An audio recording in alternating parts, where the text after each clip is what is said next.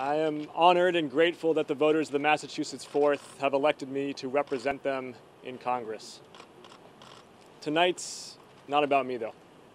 Tonight's about this country's opportunity to rebuild after four years of an administration that has left us weaker, sicker, poorer, and more divided than any time since the Civil War.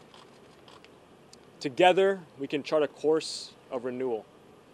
We can put science in the driver's seat to beat back COVID. We can fight climate change and transition to a clean energy economy. We can protect women's reproductive rights. We can stand up for racial justice. And we can keep weapons of war off our streets and away from our schools.